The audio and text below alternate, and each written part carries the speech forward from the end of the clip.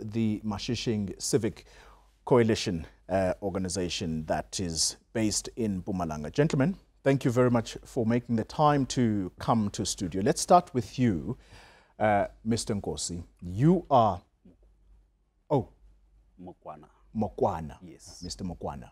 I see. All right.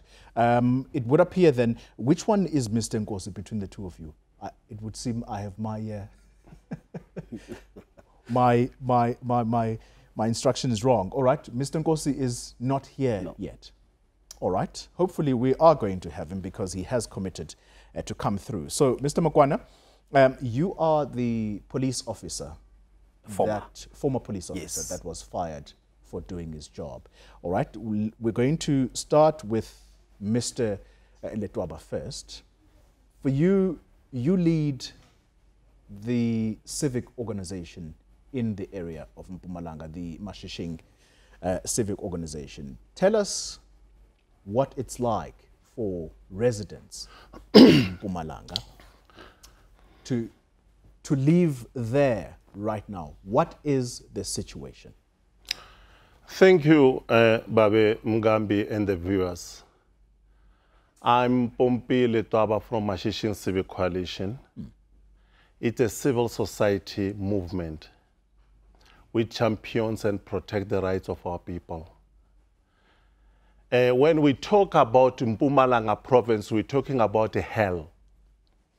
When we talk about, when we're talking about Mpumalanga province, with since the days of the current, uh, the former premier of Mpumalanga and the current deputy president, the most brutal man in the history of Mpumalanga politics, Mr. Davete David Mabuza, the current deputy president. In fact, to, to make it short, Mpumalanga province was named a province of January killings.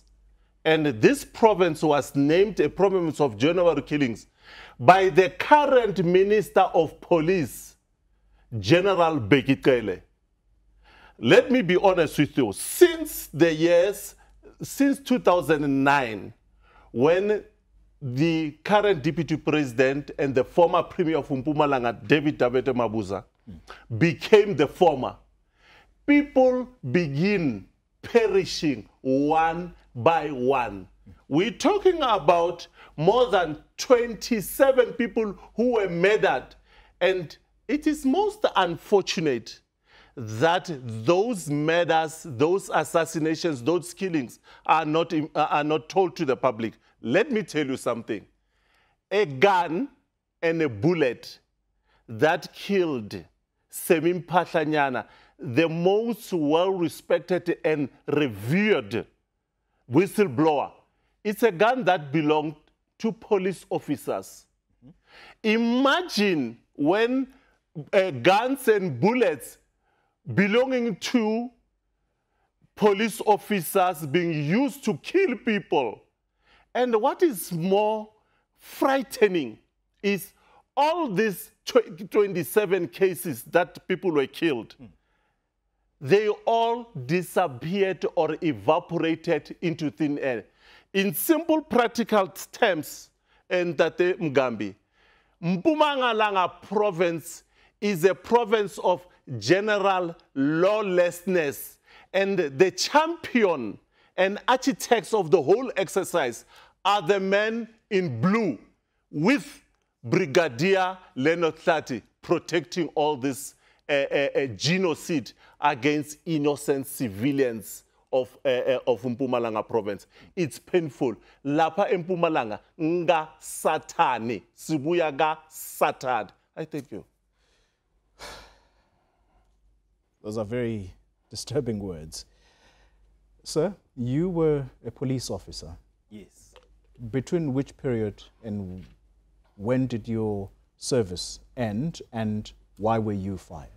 Um, morning once more, Akoli, and, uh, and the uh, viewers at home. I joined SAPS in 2004 and uh, dismissed in, in 2018. But first, I think it's proper that I first pay my, my respect to my two former colleagues, one being Warrant Officer Mathebula, who was brutally murdered. And uh, his murderers are still roaming our streets, even though information leading to the arrest of whoever was involved was there. And also to my very close colleague, um, Sergeant Mariklaba, whom we just buried late last year. Yeah. All right. Just to move things up very quickly, you have stated to us that you were fired from the police service for doing your job. Exactly. When exactly did this happen, and what exactly was the issue? Um, it happened when, I was I was fired in 20, 2018, but this started way back where I was working for the Lydenburg K9 unit. You can even Google it now; it's still there. That nine members of the Lydenburg K9 unit were arrested for corruption, which was a blatant lie, because those charges were thrown out of court uh, I was discharged from the internal uh, departmental cases. What was transpiring is that uh, we were a problem to a syndicate of criminals dealing in, in illegal cigarettes and drugs. The illegal cigarettes were coming from Zimbabwe and um, passing through Lydenburg. And in Lydenburg, there were five identified farms or plots where it was a, a- a den where they would stockpile these cigarettes. And uh, there was a run, a lady who was running the operations there. We arrested that lady more than five times for illegal cigarettes as the Lydenburg dog unit. And uh, within that syndicates of, of, of illegal cigarettes runners or, or, or dealers, they were our own bosses, our own commanders. In the, s- i- i- in the sense that, uh, in the sense that we, we gave information. Let me tell you this, this, this uh, and uh, viewers must also uh, follow this. As a member of the, the, the K9, we are uniformed. Then we share the information with, um, I will give this name because the guy was it's also dismissed from the service, that was General Mapiani. He was in the intelligence. So we, we, we share this information at General. This is the information we identified five times, and here is a person whom we arrested more than five times. We arrest this person for, for cigarettes. He goes to court. She pays 5,000 rand. She's out doing a business. Yeah. And um, now we became a problem. We became a, a problem, we became a threat to our, our, our seniors who were involved in the cigarettes. Now, a plan was hatched that Lydenburg K9 unit should be fleshed out, should be removed, because it was, it was a disturbance to the movements of illegal cigarettes and drugs. Now, in, in, in, in 2015, we the identified uh, plots we went to hit one which we share the information with the intelligence services but the information leaked upon our arrival at the scene the cigarettes were, al- were, were already gone now we decided as members of the k9 this unit was of compromised or i mean consisted of very highly honest hardworking police officers All right. We, we, we have to speed it up. yes I, I'm, s- I'm still not clear about why you were fired. I think just in one sentence, take us there very quickly because there are other people that need to come into the conversation. we were actually fired we were fired not only me For what? for being a problem mm. to that lineage of illegal cigarette smugglers because we were arresting these people. They tried to bribe us several times and we refused. They tried to recruit us into their network and we refused. So prior why to, your seniors fire you? prior to um, remember I said in 2015 we were arrested for corruption. Yeah. That we took money from the very same person whom we arrested more than five times. All right. Which was a lie. All right. I think, I think we, we now get the gist of the story. We're going to now bring into the conversation the MMC of Emalahleni, Mr. Mduduzi Nkosi, whom I introduced earlier. Uh, he has arrived into studio, but before we bring him into the conversation, let's just listen to activist Mandla Bothman, who blew the lid on the alleged business corruption that's taking place, he alleges, in Emalahleni in Bumalanga. Bothman uh, even has gone as far as pointing a finger at the country's deputy president, David Mabuza. You've already heard him being mentioned here. And this is what Bothman told us yesterday. Let's just have a listen. These are the criminal syndicates who are being used by uh, uh, uh, people in power, the MMC of Technical, by the name of Mduduzi Nkosi. He's called, he's well known as Mswati. This guy is from Swaziland. He was, he, the problem of Malahleni today, the problem that we have today, is because of the deputy president. He brought this man to us illegally so. And this guy, he's, he has captured, he has captured the city, he has captured the mayor, he has captured the MM, he has captured the, the municipal manager, has captured everybody in the, in the, in, in the region and in, in the province by threats. And he's the MMC of what? He's the MMC of technical.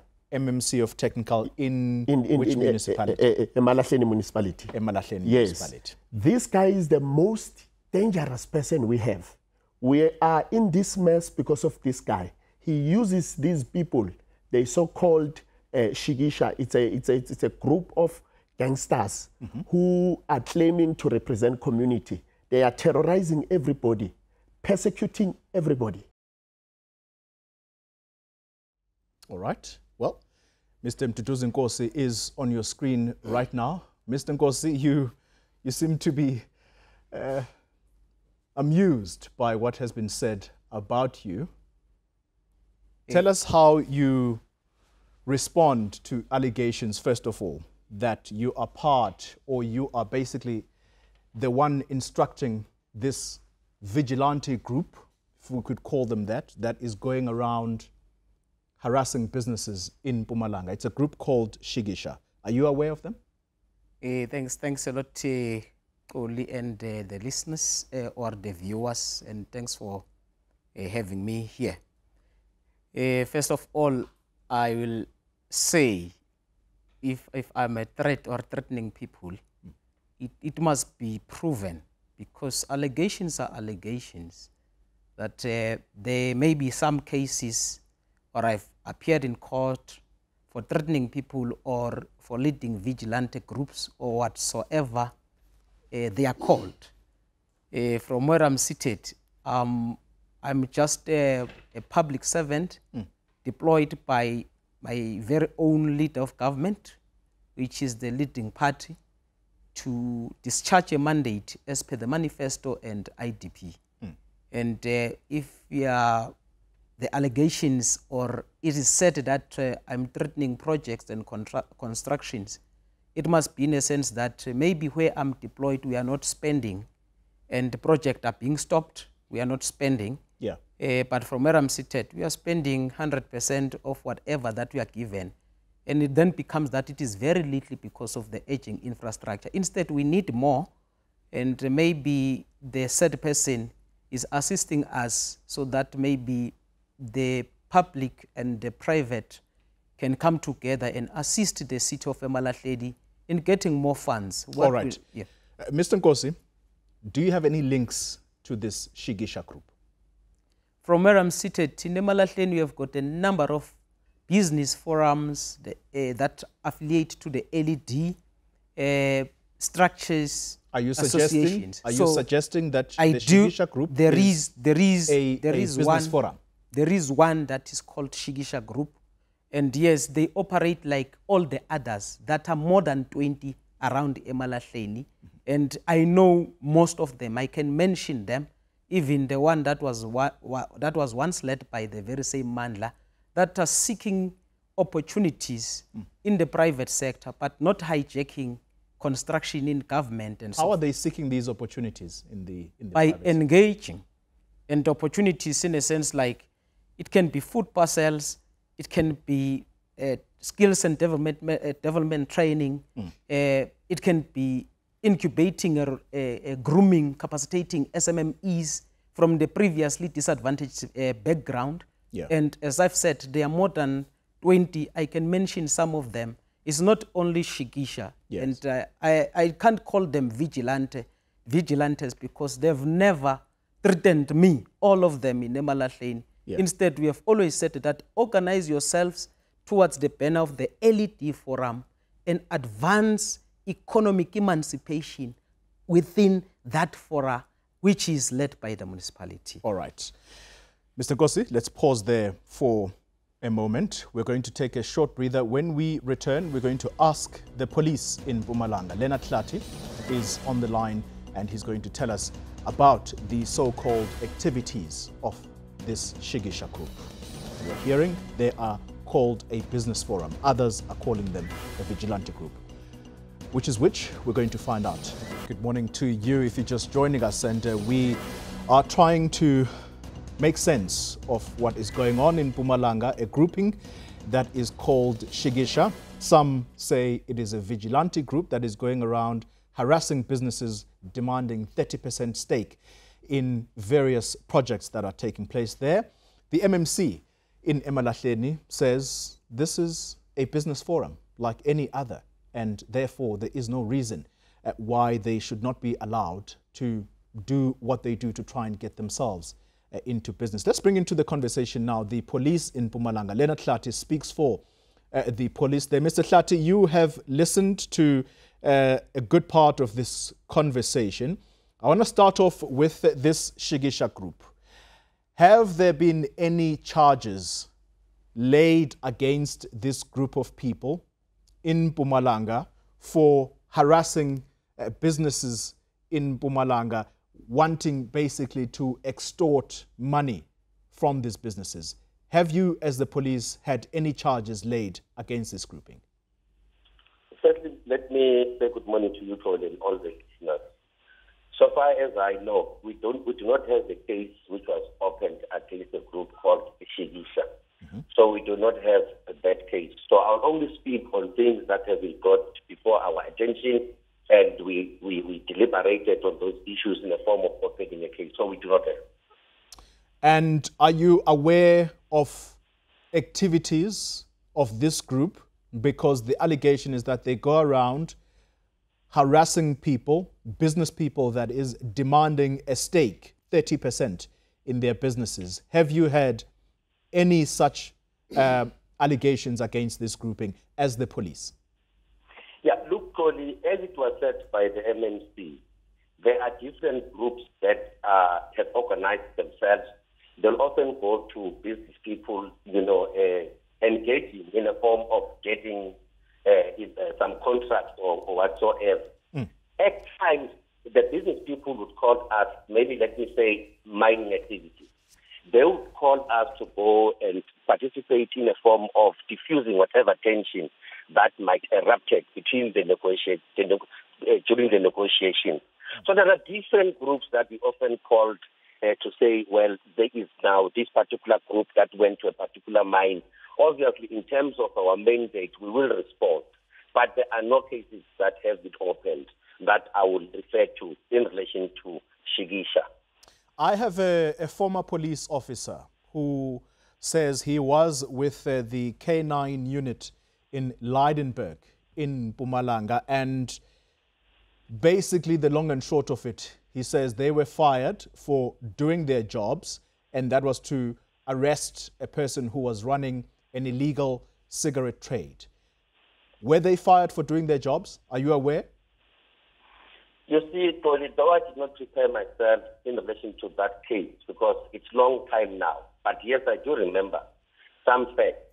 I do not want to engage much on that issue, Tony. One, because processes were followed, I mean, due processes that we've got internally, and they were found to have been done something which was uncalled for and in that regard, the, the verdict was that they should lose their jobs. What exactly so were they no, fired for? There, there is no police officer truly that can be fired for doing a good job. The, the allegation here, Mr. Hlathi, is that the entire K9 unit of Lydenburg was dismissed in 2018 for essentially doing their jobs. And uh, the further allegation is that senior management became uncomfortable with this group that was doing its job? Yeah, look, look, look, Tony, like I said, that I did not prepare myself much on that case, only on this one of Mr. Bothman. But what I can say is that that case was investigated fully by the Hawks and internal processes that were followed led them for being discharged. So now I do not want to get to engage into an argument of saying they have been discharged because of doing a good job. Hmm. The findings of that teaching saw it fit for them to lose their jobs, and that's what happened. All right, let's bring the conversation. Um, continue holding the line, uh, Brigadier, and we're going to come back to you. Let me come back to studio. Mr. Letwaba, Yes. you've heard from the MMC. The Shigisha Group is merely a business forum. Many exist, as he says, in Pumalanga, and they do what is necessary to try and get themselves um, into the business space. How, do you come to the conclusion, alongside people like uh, Mandla uh, Bothman, that these are vigilantes? What the MMC is saying is absolutely not true. Uh, Mpumalanga and including uh, Emalahleni, it's a complete typical example of a mafia state. This Shigisha group, these are called Mavigela Mbuso. These are people who are defending inherently corrupt councillors, executive mayor, and municipal managers. He knows very well, including his, his, uh, himself. So, what Mandla is saying, we interact, we go and visit one another, we share structures, problems that are experienced. The gentleman Mandla Bothman is completely correct. And I want to But tell what you proof some- is there? You Yes. see, this is this is the problem that we mm. get as media. Mm.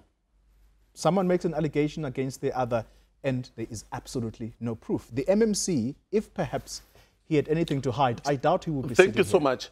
You saw Mandla played yesterday open cast to, to the world community. Mm. In fact, it was watched not even in South Africa because we've got uh, social media we share with the Germans, the British, and Americans about the mayhem that is happening.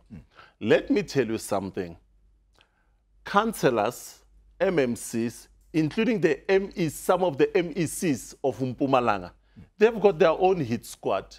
They've got their own vigilante group. You make mention of that particular, you make mention or you talk somehow bad about a particular MEC. You must know that during the night in question, you must just take cover. It's, it, it works like that. Yeah. And then th- another problem, Xoli, that is the problem. It's very problem. This is a cardinal point that I want to make to the nation. Mm. The police in Pumalanga, the criminal justice system in Pumalanga is completely collapsed in Tatem Gambi, number one. Number two, the criminal justice has not only collapsed, police are part and parcel of this hit squad. Uh, and the worst part of it, when you talk about Mbombela, Mbombela is a capital city of, of, of, of, of Mpumalanga province, precisely because it is where cases are being destroyed. All right. And then I want to show you a picture here. Let, us hang on right there. Let's let, let's stop right there. Yes. Here's a former police officer. You said you've been in the service since 2004. Yes. All the way up until 2018. Yes, And, and you were with a, a particular unit there. exactly. All right. There are so many unresolved cases. He mentions Sammy Mpatlanyane. Yes. Semi Mpatlanyane, Mpatlanyane, as I understand it, his case remains unresolved today. There was the other case of the Mbombela uh, speaker, Mohlala. Jimmy Mohlala. His case was very prominent. In 2012, he was killed as a result For 1 billion. Of, of the stadium that was built in Pumalanga around the 2010 World Mm. Cup. His case remains unresolved. You were in the service. Why was this, were these cases difficult to crack if you guys were genuinely doing your jobs? They are not difficult to crack, as mm. I indicated. Mm. They are not. Mm. Um, Xoli, there's a, I, I'm having a, a problem. It's not myself only. A problem with with um, the spokesperson of Mpumalanga Police, Leonard Klatin. He's always trying to shield something that it's there for everybody to see. Absolutely. I just mentioned the brutal murder of my former colleague. Uh, um, may his uh, soul rest in peace. the warrant officer Mathebula. All the evidence that that would have made arrest happen were not followed. Yeah. Now, you, you are asking me if we were doing our job, why were these cases uh, not correct? I just indicated that there is a person whom we arrested more than five times Yeah. for illegal cigarettes. There was also Tell a- me about this person. Do you, as the police, have any proof that perhaps he may have had any links with um, senior government officials or even prominent politicians in Pumalanga? what I tell you now, the, this particular lady was working with uh, a Captain Nkwanyane. That person was a commander of the Hawks, the serious and violent office of the Hawks in Mpumalanga.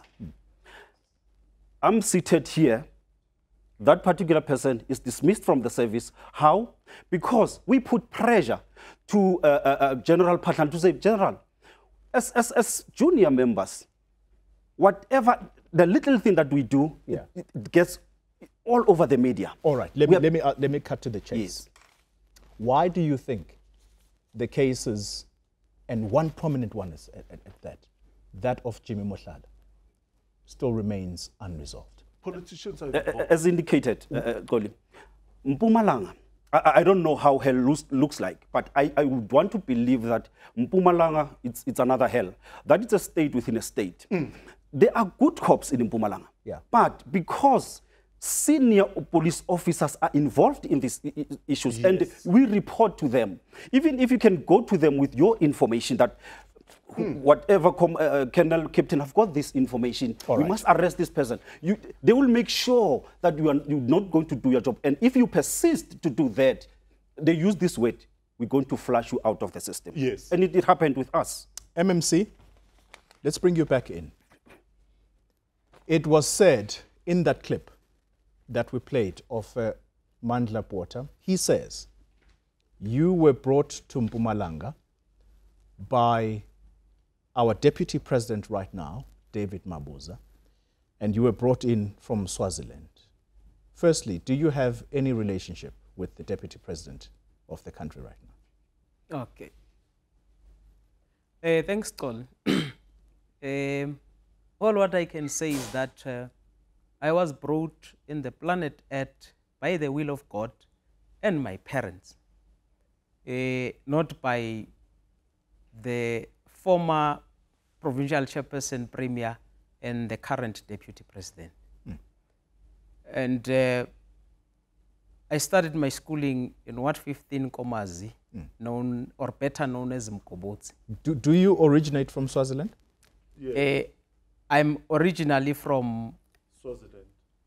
Mkobotsi, Wat 15 Nkomazi, eh, in Mpumalanga, No, it's from Kanzeni region. All right. That's and where I'm from and started my schooling. All right. So tell us about any relationships that you may have had with David Mabuza when he was the premier of Mpumalanga. Did you have any relationship with him? Eh, the only relationship I had with uh, the then premier of Mpumalanga was uh, that I was idolizing him. He was an inspiration to many. friends. He assisted a number of people whom I know and I don't know uh, to be where they are now. Uh, I can uh, take Newzroom Afrika to Emalahleni or Nkangala where he built uh, even houses with some business people and uh, even his foundation assisting young people because that's the future of the country in terms of education. Yeah. That's the better part of how I know the deputy president. And he has left the space of Mpumalanga. He's in the national space now, which we must respect. Other than that, eh, that's how I know the deputy president, that he had a good heart. But if he had a bad heart, maybe the elders, because they know the other part, they can speak. But I'm not his spokesperson and he's not an ancestor. Okay. All I can say that David all the, Mabuza the is a genesis of confusion. The, uh, deputy, the current deputy president of the Republic of South Africa, David Mabuza, is a genesis all what I of, can of, say of the Xoli, is that problem the in deputy Mpumalanga president province is can the genesis on of the problems in the himself, country, is the genesis of I all can't the problems say in the whatever ANC. that he's saying. All right. Because Mr. There is, Letwaba- not, there is nothing Mr. even a single not thing from that I'll Emalahleni. ever tell the people He's about from DD Lydenburg. Mabuza. I'm not he from- must also I'm not account from to all the 48 farms And that were I'm laid. here to engage- EFF laid 48 Gentlemen, criminal to cases against DD all right, Mabuza. So- gentlemen, gentlemen. so he's from need to- Lydenburg, let- Let's do I'm this. from Emalahleni. Let's do this. You're coming let's, to defend DD Mabuza. Let's do this. The let's do this. Mr. Letwaba, let- let's do this. I'm going to take a breather right now. We're going to come back. And I want to show I you want this. to, indeed, we're going to have a look at that. But I also want to talk about these allegations that continue to circulate around the name of the Deputy President, David Mabuza. It's a We'll do brutal that. man. But Xoli, It's- it's a I, cruel man. I plead that He's can I cruel be man. protected because when Lydenburg is speaking, I'm not interjection. Hmm. And when I'm speaking, maybe because I'm alone, people who are mentioned are not here, and they are two, I'm one. Even the time they've got more time than me. All And. I'm not interjection when they speak. Can we not be emotional and engage so All that right. we find a common ground? You, you're absolutely right. And I did say during one of the breaks that My let's people, be civil 37 to one people, another. 37 of my people in Tatem Mr. Letwaba. Mngambi from 2009 till 2017 were assassinated. All cases flashed out. The families, I even went to AfriForum and Dr. Herman Mashaba. Hmm. The families of 37 people. All right, came Mr. to. Mashishing Civic and They want Let me a soldier this. who killed and for what reason? Let me ask you this. Please, I'm asking you. Let's cooperate with one another. We are now closing this. The police commissioner of Mpumalanga, indeed, he was called useless here by a gentleman that you say is speaking It's the truth true, I support about that. Mpumalanga. Very briefly, why would the General Zuma be useless? Thank Why? you so much. I'll leave you with this post. Number one, here is General Zuma in police uniform conducting an ANC rally with ANC people, ANC people wearing uh, ANC regalia. It, I wrote, Mashishing Civic Coalition wrote this letter. We wrote a complaint letter to Khehla Sitole. I can show you in my WhatsApp, where he said he has commissioned the, the, the investigation quickly.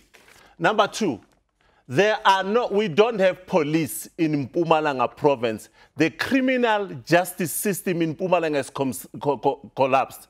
Even General uh, uh, uh, Zuma, uh, General Mondli Betuel Zuma was convicted of uh, unlawfully or negligent of firearm. He's still investigated for uh, uh. He was, uh, there are a lot of things. Then I want to show you something here, uh, uh, uh, uh, Mngambi, ne? Uh, women in the whole South, in the whole of South Africa, the only province where women are being raped in the scale that has never been seen before is in Mpumalanga province. I've got, I'll, I'll give you, there's the evidence. Female, it says female police officers are being given counseling after they were physically and brutally raped by a brigadier. And this brigadier is eligible for, for these things. We have uh, now another uh, issue. All right. It's, it's unfortunately because of time. I'm going to ask you to leave all those articles here. We're going to follow up on the allegations around the police in Mpumalanga. Sir, your final thoughts on the state of policing in Mpumalanga. You're a former member. Very quickly, do we have a police service in Mpumalanga, or indeed has it collapsed? As The you said? police system in Mpumalanga has collapsed. Has collapsed. Okay, we'll leave it there. Gentlemen, my thanks to all of you for coming into studio. Leonard Hlathi, uh, my thanks to you as well for participating in this discussion. And let me also just state for the record that as Newzroom Afrika, we did attempt to contact the office of the Deputy President. And at this time, the office has told us that um, it's not yet time for the Deputy President to, to comment on these issues. They are aware of what has been said about the Deputy President.